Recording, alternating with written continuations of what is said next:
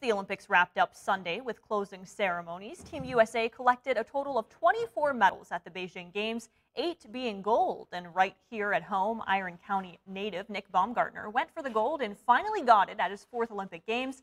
I caught up with him over the weekend when he was still on cloud nine, bringing that medal back here to the UP, something he's dreamed of his entire life gold in your I hand. have a gold medal in my hand. yeah, it's quite wild. A wild experience for 40-year-old Iron County native Nick Baumgartner, who brought home the gold medal, winning in the snowboarding cross finals next to his teammate, Lindsey Jacobellis. It is gold for the United States! Lindsey Jacobellis, twice golden! And for Nick Baumgartner, the 40-year-old, a long-awaited Olympic medal. It's been unbelievable. Um, obviously, everyone saw my um, my disappointment the first race. I made a small mistake, and it just it was all the realization of all that hard work. I wasn't going to get the opportunity to show everyone what that hard work was going to make.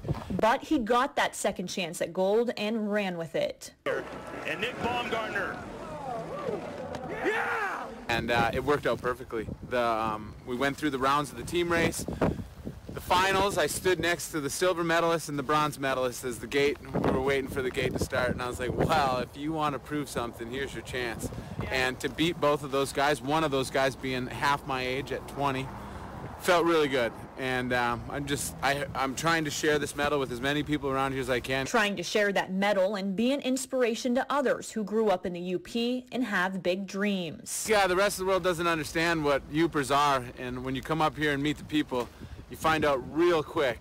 And I don't know any Olympic medalists from this time that went home to what I went home to. I had a 60 mile parade through like five communities, people on the streets screaming, cops, uh, fire trucks, ambulance, city workers riding with me, and then to, to show up into my hometown and to do a, a full parade with the whole community. And I mean, I just walked for a mile and a half crying, but I can't even imagine. Yeah. You just gave me chills when you said that. Yeah. Like that just it just really all kind of comes together. Yeah, they're screaming, and I chose to walk, not ride in something because I, every time I'd see someone I'd know and I'd, I'd start walking towards them, the emotions would take over. But Baumgartner has been snowboarding from a young age, and this was his fourth Olympic Games. And he tells me you're in your prime in snowboarding at age 28 and 32. It took him until he was 40 to leave his mark with the gold. I think maybe I just wasn't ready for the medal back then. Yeah. They know that through the process of growing up and doing what you do, that I needed to wait for it, and the story would be better if I did.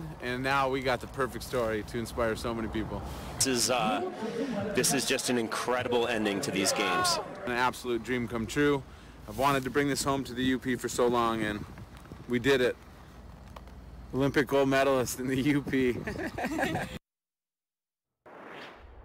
And Baumgartner wants to help others in the UP achieve that dream because, like he said, the only way to survive these cold winters is to find something fun to spend your time doing. For him, that was always snowboarding. Congratulations to him.